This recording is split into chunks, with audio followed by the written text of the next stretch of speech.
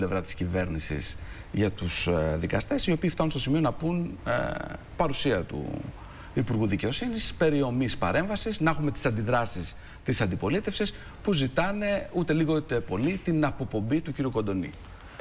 Κοιτάξτε, νομίζω ότι με βάση τα όσα παρακολουθήσαμε χθες, ε, μένει μια αίσθηση τουλάχιστον σε μένα ότι η δικαιοσύνη τσακώθηκε μόνη της με την κυβέρνηση.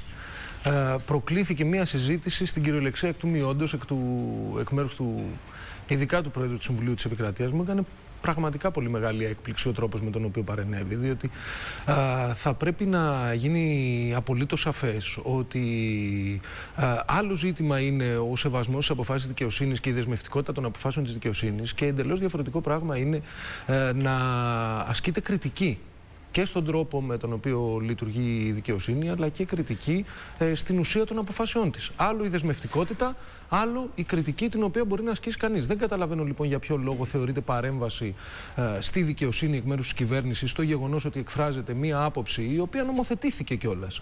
Ε, ότι θα πρέπει και οι δικαστικοί να υπάγονται στην ε, διαδικασία της ηλεκτρονικής κατάθεσης του ποθενέσχε. Ε, ειλικρινά μου κάνει πραγματικά ε, μεγάλη εντύπωση και μου προκαλεί, όπως σας είπα και προηγουμένως, έκπληξη ο τρόπος με τον οποίο διαχειρίστηκε ε, εχθές η, κατά τη διαδικασία, κατά τη ε, ε, διαδικασία αυτής της ε, συζήτησης το όλο θέμα και ο πρόεδρος του Συμβουλίου της Επικρατείας αλλά και άλλοι ε, εκπρόσωποι της δικαιοσύνης. Νομίζω ότι... Υπάρχουν άλλα θέματα, κύριε Υπουργέ, που με αφορμή τώρα αυτό και την παρέμβαση του, τη σημείωση του Υπουργού Δικαιοσύνης τέθηκε από τον πρόεδρο του ΣΤΕ. Δηλαδή θεωρούν οι δικαστές ότι κάνετε παρεμβάσεις σε άλλου είδους ε, ζητήματα, σε υποθέσεις για παράδειγμα. Έχετε γίνει δέκτες εσείς ε, τέτοιας κριτικής. Το να ισχυρίζεται κανείς ότι αυτή η κυβέρνηση προχωρεί σε παρεμβάσεις στο έργο της δικαιοσύνης είναι ε, τουλάχιστον ε, αστείο. Ε, για πρώτη φορά η δικαιοσύνη αφήνεται να λειτουργήσει με όρους πραγματικής ανεξαρτησίας και αυτό το ξέρουν πάρα πάρα πολύ καλά και οι, οι ίδιοι δικαστές. Ε, αυτά τα οποία γίνονταν ε, ε, τα παλαιότερα χρόνια και ο τρόπος με τον οποίο υπήρχε μια συμπλοκή ε, μεταξύ των, ε, όχι συμπλοκή, μια ε, έντονη, εν πάση περιπτώσει, ε, διήθηση πολιτικών συμφερόντων εντός δικαιοσύνης είναι κοινό μυστικό στη χώρα μας. Ε, νομίζω ότι αυτού του τύπου οι καταστάσεις ανήκουν οριστικά στο παρελθόν με την σημερινή κυβέρνηση. Κύριε Τζανακόπουλε, πιστεύετε ότι οι, παρεμβάσεις, οι αποφάσεις μάλλον της δικαιοσύνης λειτουργούν και ως παρεμβάσεις σε πολιτικές αποφάσεις της κυβέρνησης; Γιατί το τελευταίο διάστημα έχουμε αποφάσεις πέρα από το πόθεν έσχες. Έχουμε κάποιες αποφάσεις που, που έχουν να κάνουν με τα αναδρομικά ε, των δικαστικών ε, που αποφασίζουν όπως πολλοί λένε και σχολιάζουν ε, τα του οίκου τους, αλλά με ένα δημοσιονομικό κόστος. Τη στιγμή που δεν το κάνουν για άλλες κοινωνικές ομάδες. Και υπάρχουν διάφορες άλλες υποθέσεις. Εσείς πιστεύετε ότι παρεμβαίνουν. Ε, καλύτερα να μην μπούμε στην ε, ουσία των υποθέσεων, διότι μετά θα έπρεπε να ανοίξουμε μια πολύ μεγάλη νομική συζήτηση για το τι είναι ορθό, τι είναι λάθος. Ε, η γνώμη μου είναι ότι η ελληνική δικαιοσύνη οφείλει να κάνει και κάνει τη δουλειά της. Ε, από την ε, άλλη μεριά, η κυβέρνηση οφείλει να προτείνει νομοσχέδια στο Κοινοβούλιο, ε, να σχεδιάζει την πολιτική της και αυτό να γίνεται στη βάση της ένωμη τάξης και των επιταγών του συντάγματος, οι οποίες τελικά θα κρυθούν από τα ανώτατα δικαστήρια της χώρας. Αυτή είναι η λογική με βάση την οποία λειτουργούμε και δεν χρειάζεται να σχολιάσουμε τίποτα περαιτέρω σε σχέση με αυτό. Ε, οι ρόλοι είναι διακριτοί, οι ε, αποστολές είναι διακριτές ε, βρισκόμαστε σε ένα κράτος δικαίου, το σεβόμαστε όλοι αυτό το κράτος δικαίου, αλλά από εκεί και πέρα η πολιτική είναι πολιτική και η δικαιοσύνη είναι δικαιοσύνη. Ωραία. Για να κλείνουμε λοιπόν να αυτή την παρένθεση, ε, κύριε Υπουργέ, πάμε τώρα στο, στον απόϊχο της επίσκεψης του Τούρκου Προέδρου. Ε, τώρα αρχίζουμε και εσείς αρχίζετε να κάνετε έτσι μια ακτινογραφία του τι ε, άφησε πίσω της ε, αυτή η επίσκεψη. Είναι κάτι θετικό το αποτέλεσμα από, τον, από τα όσα διεμήφθησαν ανάμεσα στον ε, Τούρκο πρόεδρο, στον πρόεδρο της Δημοκρατίας και στον πρωθυπουργό τον κύριο Τσίπρα. Από μόνο του το γεγονός ότι Τούρκος πρόεδρος μετά από 65 χρόνια επισκέφθηκε την ε, χώρα μας, ε, ότι έλαβε χώρα δηλαδή επίσημη επίσκεψη, νομίζω ότι είναι εξαιρετικά θετικό.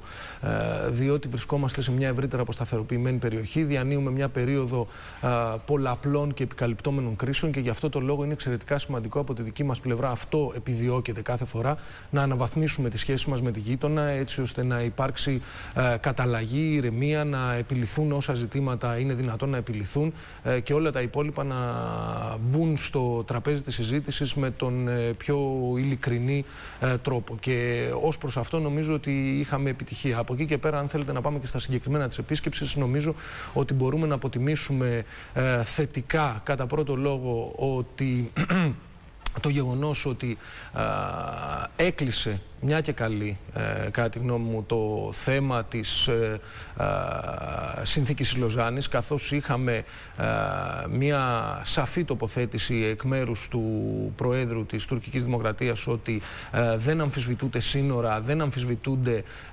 κυριαρχικά δικαιώματα κανενός κράτους και πολύ περισσότερο κανενός γειτονικού κράτους, επομένως αυτό είναι κάτι το θετικό. Από εκεί και πέρα υπήρξαν φυσικά και οι διεθνείς, υπήρξε και μια διεθνής υποστήριξη προς την ε, συνθήκη της Λοζάνης και άρα προς την ελληνική θέση. θυμίζω τις ε, δηλώσεις και των Ηνωμένων Πολιτειών και της Γερμανίας αλλά και της Ευρωπαϊκής Ένωσης που με σαφήνεια τοποθετήθηκαν σε σχέση με το συγκεκριμένο ζήτημα. Επομένως ως προς το κομμάτι αυτό της ε, συζήτησης νομίζω ότι καταγράφεται, καταγράφεται μια θετική αποτίμηση η οποία είναι και κατά τη γνώμη μου αδύνατο να αμφισβητηθεί από τον οποιονδήποτε όσο και αν θέλει να κάνει αντιπολίτευση. Βάζει όμως το θέμα της μειονότητας. Ε, τι, και τι ε, αυτό το οποίο είπε ο... Ας μείνουμε, ας μείνουμε, λοιπόν, ναι. ας μείνουμε λοιπόν σε αυτά τα οποία είπαν στις κοινές δηλώσεις τους οι Λέει δύο ηγέτες. Ο, ο, κύριος, ε, ο κύριος Ερντογάν ε, ο κύριος Ερντογάν στις ε, δηλώσεις του ε, στο Μέγαρο Μαξίμου μαζί με τον Πρωθυπουργό αυτό το οποίο τόνισε είναι ότι το ζήτημα της μειονότητας είναι αποκλειστικής αρμοδιότητας του ελληνικού κράτους. Νομίζω ότι και αυτό αποτελεί μια δήλωση η οποία δεν έχει ξαναγίνει και από εκεί και πέρα αναγνώρισε την, τον θρησκευτικό χαρακτήρα ακριβώς της μειονότητας αλλά και τις πολλαπλές προελεύσεις των μελών της. Είναι πολλές οι διατυπώσεις εγώ νομίζω, κύριε, εγώ νομίζω ότι αυτά τα οποία, αυτά τα οποία εγώ δεν το έχω δει αυτό. Στη συνέντευξη στο βήμα αναφέρθηκε. Στις ε, επίσημες δηλώσεις ε, και στον τρόπο με τον οποίο τοποθετήθηκε και κατά την ε, ε επίσκεψή του στη Θράκη δεν είπε τίποτα τέτοιο. Αντιθέτως... Διπλωματικό επεισόδιο όλα, υπήρξε. Όλα μπαίνουν διπλωματικό... όμως στο τραπέζι ναι, όταν γίνονται δηλώσεις. Ε... Διπλωματικό επεισόδιο υπήρξε μεταξύ του κ. Αμανατίδη με τον... Κανένα διπλωματικό επεισόδιο. Γιατί είδαμε μια στοιχομηθεία εκεί ότι, ότι κατά τη διάρκεια μιας επίσημης επίσκεψης θα υπάρξουν και οργανωτικές διευθετήσεις νομίζω ότι είναι δεδομένο. Τώρα από εκεί και πέρα, αν θέλουμε να δημιουργήσουμε επεισόδιο εκ του μειόντος, είναι εύκολο. Υπήρξε να δηλαδή, κύριε Υπουργέ, διπλωματικό παρασκήνιο, σας ευνηδίασε Όχι, ο δεν κύριος Ερντογάν. κανένα διπλωματικό παρασκήνιο. Με την αλλαγή αυτή υπήρξαν οργανωτικές διευθετήσεις. Δεν νομίζω ότι υπήρξε κανένα απολύτως πρόβλημα. Εγώ όμως θέλω να επιμείνω στο ζήτημα που θέσατε προηγουμένως. Ε, δεν είναι δυνατόν να μην αποτιμάτε θετικά το, ο τρόπος με τον οποίο τοποθετήθηκε ο Τούρκος πρόεδρος ό,τι αφορά τη μειονότητα. Έχω πολύ μεγάλη έτσι, με πολύ μεγάλη ένταση θέλω να το υπογραμμίσω αυτό. Ε, αντιθέτως νομίζω ότι δεν έχουμε νέα θέματα τα οποία προκύπτουν από την επίσκεψη Ερντογάν. Αντιθέτως έχουμε λιγότερα θέματα από ό,τι είχαμε μία μέρα πριν την επίσκεψη. Και ακριβώς αυτός ήταν και ο σκοπός. Επειδή άκουσα προηγουμένως ότι συζητούσατε για το αν και κατά πόσο έπρεπε ή δεν έπρεπε να γίνει αυτή, αυτή η επίσκεψη. Είναι το σημείο της κριτικής που δέχτηκε η κυβέρνηση. Ε, ε, πραγματικά και αυτή η κριτική μου φαίνεται ε, ε, λίγο ανερμάτιστη και θα σας πω με ποια έννοια. Οι επίσημες επισκέψεις δεν, δεν γίνονται μόνο για να ανταλλάσσουν οι πολιτικές ηγεσίες φιλοφρονήσεις όταν τα πράγματα είναι καλά. Αντιθέτως, οι πολιτικές, ε, οι επίσημες επισκέψεις έχουν πολύ μεγαλύτερη σημασία και πολύ μεγαλύτερο νόημα όταν υπάρχουν πραγματικά ζητήματα τα οποία θα πρέπει να επιληθούν, ειδικά σας ξαναλέω, σε μια περίοδο όπου είναι αναγκαία η αναβάθμιση των σχέσεων. Επομένως, επομένως, ε, αυτό το οποίο έγινε είναι το εξής: Ότι η ελληνική κυβέρνηση πήρε μια τολμηρή πρωτοβουλία να τίνει χείρα φιλίας προς τη γείτονα.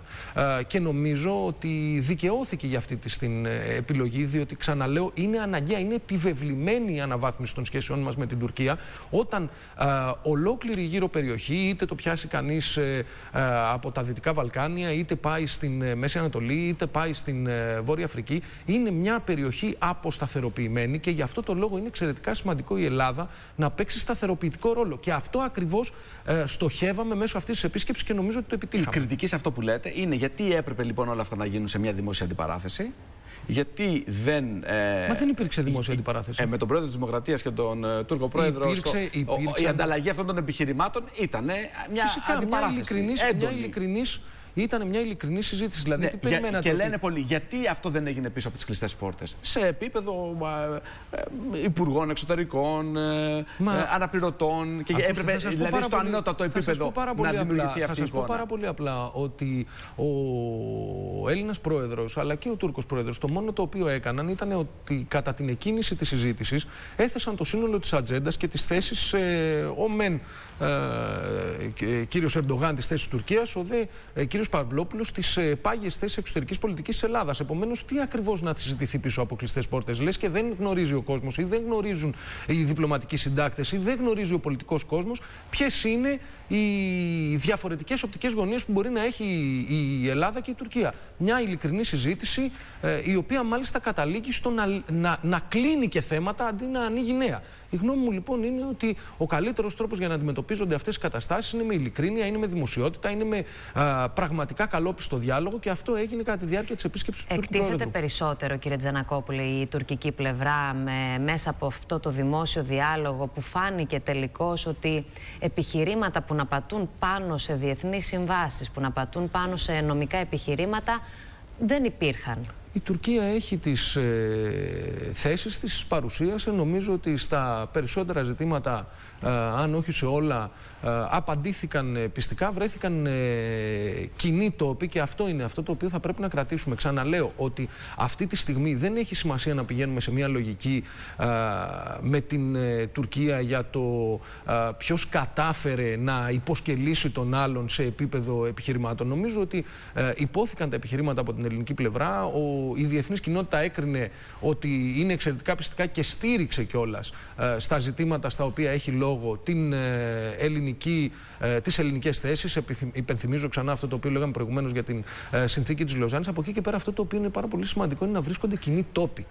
Ε, και κοινοί τόποι βρέθηκαν. Δηλαδή το γεγονός ότι υπάρχει μια επανεκκίνηση των, σχέσεων, των ε, μέτρων οικοδόμησης εμπιστοσύνης. Το γεγονός ότι υπάρχουν, ε, συμφω, ε, υπάρχει μια ε, συμφωνία για την αποτελεσματικότερη διαχείριση της προσφυγικής κρίσης. Αλλά, και, την, αλλά και υπήρξε μια νέα δέσμευση. Υπήρξε συμφωνία στην... για το θέμα της προσφυγικής κρίσης. Γιατί Σας διάβασα λέω, ρεπορτάζ. Αν μπορείτε μια, να μας τα επιβεβαιώσετε. Υπήρξε μια, σχετικά με υπήρξε, μετακίνηση. Υπήρξε μια κοινή δέσμευση. Ναι. Ε, μια επανεκκίνηση επιβεβαίωση της κοινής δέσμευσης στην κοινή δήλωση ΕΕ Τουρκίας. Mm υπήρξαν και συζητήσεις για τον τρόπο με τον οποίο θα πρέπει ε, να βοηθηθεί η Ελλάδα να αποσυμφορήσει τα νησιά και νομίζω ότι βλέπετε ότι σε αυτήν την ε, Ώστε να έχουμε εσωτερική μετεκατάσταση ε, και, να μην λέει η Τουρκία ότι δεν δεχόμαστε ναι, από την στο πεδίο εφαρμογής της συνθήκης ακόμα και.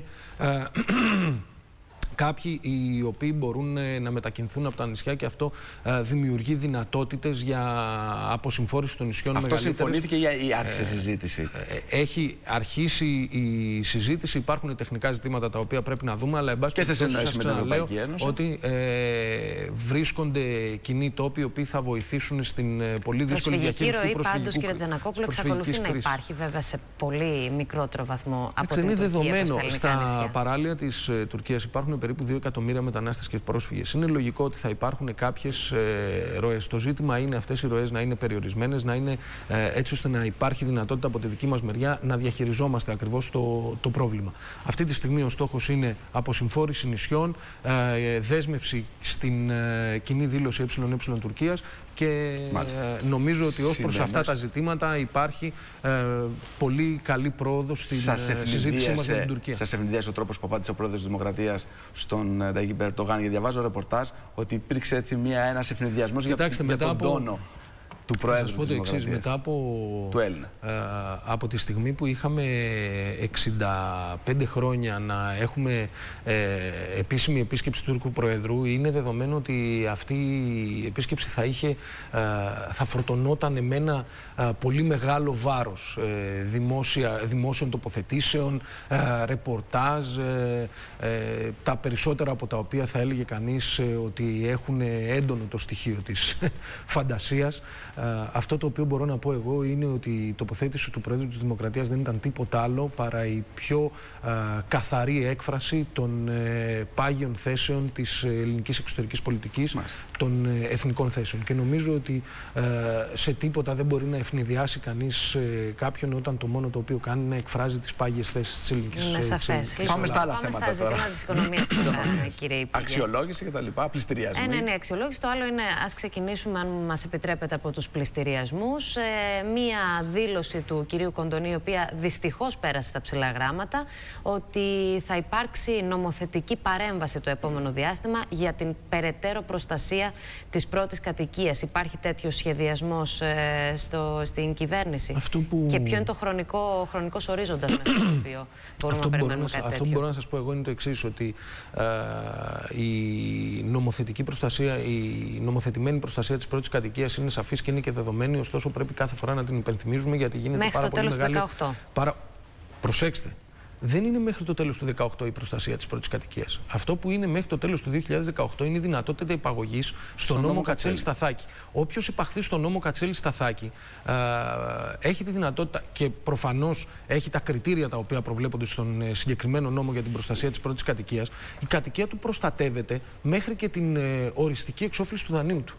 Δεν έχουμε δηλαδή μία α, πάυση της προστασίας της πρώτης κατοικίας το 2018. Αυτό το οποίο προβλέπει ο νόμος είναι ότι κάποιος μπορεί να υπαχθεί στο νόμο Κατσέλη Σταθάκη μέχρι τις 31 Αλλά δεν καλύπτει τους άλλους που ενδεχομένως να βρεθούν σε δύσκολη θέση, θέση μετά, μετά την 31 Δεκάτου. Εκεί σκέφτεστε να κάνετε κάποια πέρα, παρέμβαση. Ε, κοιτάξτε να δείτε, αυτό εξαρτάται από την ε, πορεία της οικονομίας, από την πορεία της ε, διαχείρισης των κόκκινων δανείων που γνωρίζετε ότι είναι ένα σημαντικό, σημαντικό θέμα και το οποίο εμείς προσπαθούμε να το διαχειριστούμε με τον ε, πιο αποτελεσματικό τρόπο, σταθμίζοντας και την ανάγκη των τραπεζών ε, να ε, εξηγιάνουν τους ισολογισμούς τους, αλλά από την άλλη μεριά και την ανάγκη να μην υπάρξουν κοινωνικές συνέπειες μέσα από αυτή τη διαδικασία.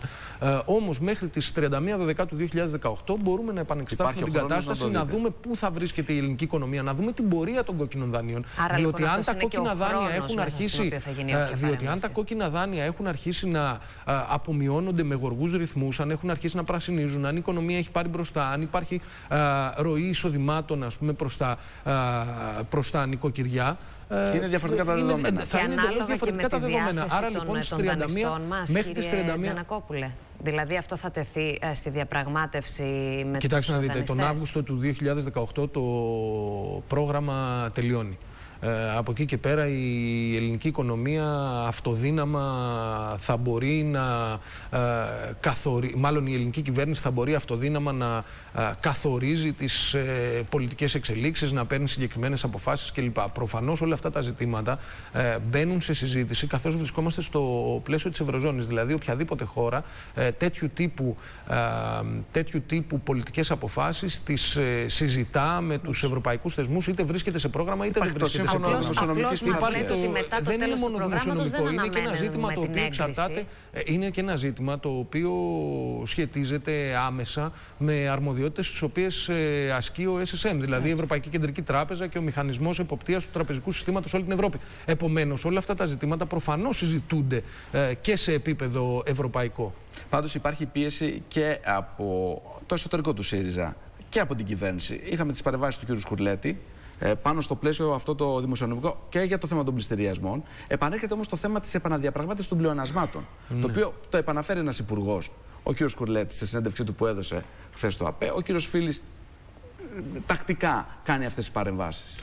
Ε, και εγώ προσωπικά έχω πει πολλές φορές ότι το 3,5% είναι ένας ε, υψηλός στόχος ο οποίος θα μπορούσε κανείς να επιχειρηματολογήσει ότι πράγματι δεν ε, επιτρέπει την ε, περαιτέρω ε, την ακόμα μεγαλύτερη, ακόμα δυναμικότερη ανάπτυξη. Αυτό είναι κάτι το δεδομένο. Ωστόσο, πρέπει να, να μην ξεχνάμε από πού ξεκινήσαμε.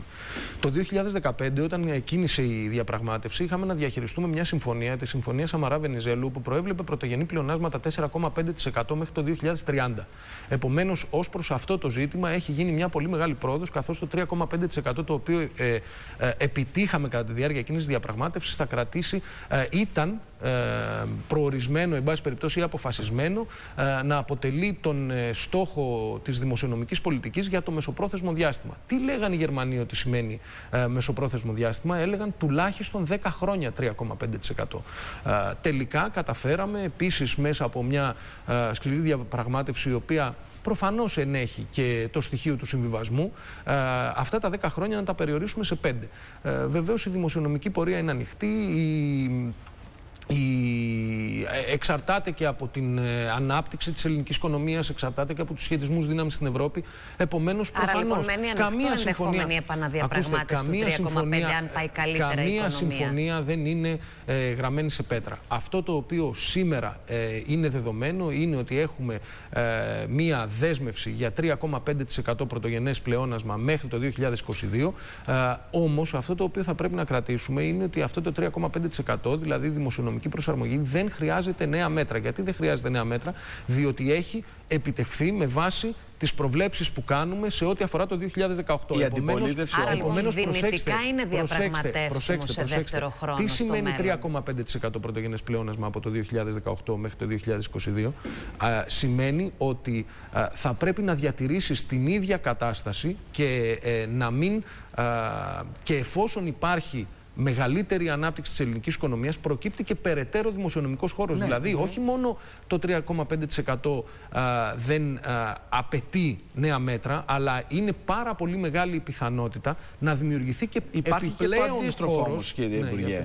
Δηλαδή, να μην πετύχεις τους στόχους της ανάπτυξης. Και τώρα τα στοιχεία του 17, αυτό λέει η αντιπολίτευση, ότι δεν θα πετύχουμε μάλλον τους στόχους. Και υπάρχει ο κίνδυνος, όπως λένε πάρα πολλοί, εσείς θα μας πείτε, ότι μπορεί οι περικοπές τη συντάξη να έρθουν νωρίτερα. Να το απαιτήσει το Διεθνές Νομισματικό Ταμείο, να κόψουμε συντάξεις αυτό δεν προκύπτει από πουθενά. Ακόμα και αν ε, η ανάπτυξη είναι κατά τη μειωμένη, αλλά καλό είναι να περιμένουμε ε, την, τα, οριστικά, ε, γιατί... τα οριστικά αποτελέσματα. Γιατί όλα αυτά είναι βλέπετε, μήνα το μήνα αλλάζουν ναι, και αλλάζουν και με. Δεν... Καλά, να το συζητήσουμε τότε, διότι αυτό το οποίο βλέπουμε σε ό,τι αφορά την ελληνική οικονομία είναι ότι φέτος με στόχο 1,75% πρωτογενές πλεόνασμα καταφέραμε να φτάσουμε κοντά στο 3, αν δεν συνυπολογίσει κανείς το κοινωνικό μέρισμα. Και επί της ουσίας, τι είναι το κοινωνικό μέρισμα, είναι ακριβώς αυτή η υπεραπόδοση την οποία την επιστρέφουμε στην ελληνική κοινωνία, δηλαδή σε αυτούς που έχουν ανάγκη. Και αυτό είναι, και μιλάμε εδώ για ένα ποσό της τάξης του ε, 1,5 δισεκατομμυρίου ευρώ. Δεν μιλάμε για μικρή υπέρβαση, την οποία έχουμε τη δυνατότητα να επιστρέψουμε στην ο κοινωνία.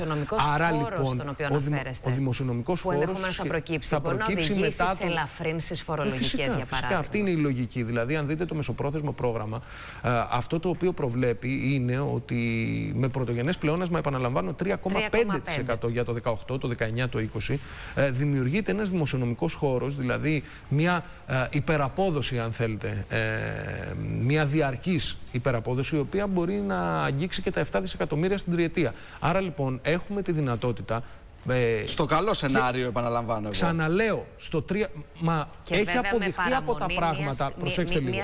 έχει αποδειχθεί, έχει αποδειχθεί από τα πράγματα. Έχει αποδειχθεί από τα πράγματα ότι το καλό σενάριο είναι αυτό το οποίο επιβεβαιώνεται διαρκώς. Ε, διότι όταν το Διεθνές Νομισματικό Ταμείο μας έλεγε πέρσι ότι θα έχουμε πρωτογενές πλεόνασμα 0,1% και τελικά καταλήξαμε να έχουμε 4%. Ε, όταν φέτος η πρόβλεψη ήταν ότι θα έχουμε πρωτογενές πλεόνασμα 1,75% από το Διεθνές Νομισματικό Ταμείο που την είχε. Ε, που είχε αλλάξει την αρχική του πρόβλεψη και καταλήγουμε να έχουμε 3 και αυτό να μας δίνει τη δυνατότητα για κοινωνικό μέρισμα, ε, ε, αυτό σημαίνει ότι όλη η πορεία, η δημοσιονομική πορεία ε, είναι πάρα πολύ θετική. Άρα λοιπόν η δημοσιονομική πορεία δεδομένη, ε, δημοσιονομικός χώρος ε, δημιουργείται και αυτό θα μας δώσει τη δυνατότητα μετά το 2018 να περάσουμε και σε μέτρα ακόμα μεγαλύτερης στήριξης και σε φοροελαφρύνσεις όπως και, Κύριε Υπουργέ, για να κλείσουμε με την αξιολόγηση για το θέμα μας, μπροστά μας έχουμε ε, την τρίτη αξιολόγηση, ε, τα προαπαιτούμενα. και θα πω για μερικά αγκάθια που υπάρχουν. Σχεδόν πίσω μας την έχουμε. Την έχουμε σχεδόν πίσω μας, αλλά έχουμε μπροστά μας. Περίμενε, περίμενε, περίμενε, γιατί έχουμε πρώτα να ψηφίσουμε μέτρα. Σωστό Μισό λεπτάκι. μέτρα; Ε, ε, ε, μέτρα. Να ψηφίσουμε τα προαπαιτούμενα. Που εγώ λέω, συνδικαλιστικός νόμος. Ήρθε νύχτα η τροπολογία, έφυγε. Και ΔΕΗ. Βλέπω πολλούς βουλευτές του ΣΥΡΙΖΑ που αντιδρούν από τις περιοχές και λένε να μην συμμετέχουν σε κινητοποιήσει. Θα λοιπόν. υπάρξει πρόβλημα σε αυτά τα δύο θέματα; Δεν πιστεύω ότι θα υπάρξει κανένα πρόβλημα. Νομίζω ότι το Υπουργείο Εργασίας εξήγησε το λόγο. Δεν είναι ότι η τροπολογία ήρθε νύχτα, μέρα ήρθε. Ε, Αποσύρθηκε νύχτα, συγγνώμη. Το θέμα είναι ούτε νύχτα αποσύρθηκε. Μα τι λέτε, όχι. Όχι, ε, ήταν λίγο σίγουρο αυτό. Μεσάνυχτα, 11 η ώρα ήταν. Εμείς το μάθαμε τέλος πάντων. Ναι. Ακούστε. Ε, σε ό,τι αφορά την ε, συγκεκριμένη τροπολογία για να συνεννοηθούμε. Ε, από τη δική μας πλευρά ε, θεωρώ μάλλον ότι είναι πάρα πολύ δύσκολο να κατηγορήσει κανείς αυτή την κυβέρνηση για αντεργατική και αντισυνδικαλιστική πολιτική. Ε, ήταν αυτή η κυβέρνηση η οποία έβαλε επιτάπητος και στο επίκεντρο της δημόσιας συζήτησης αλλά και της ευρωπαϊκής συζήτησης στο ζήτημα της ε, ε, ανάγκης για να επανέλθουν οι συλλογικές διαπραγματεύσεις. Ήταν αυτή η κυβέρνηση η οποία κατά τη διάρκεια της τρίτης αξιολόγησης κατάφερε να κερδίσει το υπερπρονόμιο των εργαζομένων σε περίπτωση πτώχευσης επιχείρησης. Ξέρετε τι σημαίνει αυτό; Ότι ο πρώτος ο οποίος θα παίρνει χρήματα από, το, από τον πληστηριασμό σε περίπτωση πτώχευσης επιχείρησης δεν είναι πλέον οι τράπεζες, αλλά είναι οι εργαζόμενοι. Με ένα πλαφόν. Έτσι. Άρα, φυσικά με ένα πλαφόν. Ωστόσο, εδώ μιλάμε για τη δημιουργία ενός υπερπρονομίου των εργαζομένων, το οποίο είναι αποκλειστική νίκη της κυβέρνησης και της διαπραγματευτικής ομάδας του Υπουργείου Εργασίας. Δεύτερο. Τρίτο η κυβέρνηση κατάφερε να περάσει μια σειρά από ρυθμίσει στο φετινό καλοκαίρι, οι οποίες ρυθμίσεις ενισχύουν τη διαπραγματευτική δύναμη των ε, ε, εργαζομένων με πάρα πολύ συγκεκριμένο και απτό τρόπο. Ε, να πω μόνο το παράδειγμα του ζητήματος ότι η μη καταβολή δεδουλευμένων είναι πλέον, θεωρείται πλέον και με βάση τον νόμο λόγος για την καταγγελία της σύμβασης εκ μέρους του εργαζόμενου. Και είναι στο πλαίσιο αυτό, στο πλαίσιο λοιπόν, στο πλαίσιο λοιπόν αυτής της διαπραγμάτευσης, θεωρήσαμε ότι είναι πιο σημαντικό σημαντικά αυτά τα ζητήματα από ότι το ζήτημα του 50% συν 1, το οποίο προσέξτε δεν ισχύει για όλα τα πρωτοβάθμια σωματεία και εδώ πρέπει να είμαστε πάρα πολύ καθαροί. Ισχύει αποκλειστικά και μόνο για τα επιχειρησιακά σωματεία. Δεν μιλάμε για κλαδικά σωματεία, δεν μιλάμε για πανελλαδικής έκτασης, πρωτοβάθμια σωματεία κλπ. Άρα λοιπόν νομίζω ότι δεν θα υπάρξει κανένα πρόβλημα. Τώρα, πάμε στο ζήτημα της ΔΕΗ, αν θέλετε να σας απαντήσω. Και εκεί έχουμε μία είχαμε να αντιμετωπίσουμε μία δέσμευση, όπως ξέρετε, της προηγούμενης κυβέρνησης, η οποία ήταν η δέσμευση για τη μικρή ΔΕΗ. Αν συγκρίνετε τις δύο εκδοχές, δηλαδή από τη μία μεριά την μικρή ΔΕΗ που είχε συμφωνήσει η, κυβέρνηση, η συγκυβέρνηση Σαμαρά Βενιτζέλου και από την άλλη μεριά το σημερινό σχέδιο, μιλάμε για τη μέρα με τη νύχτα.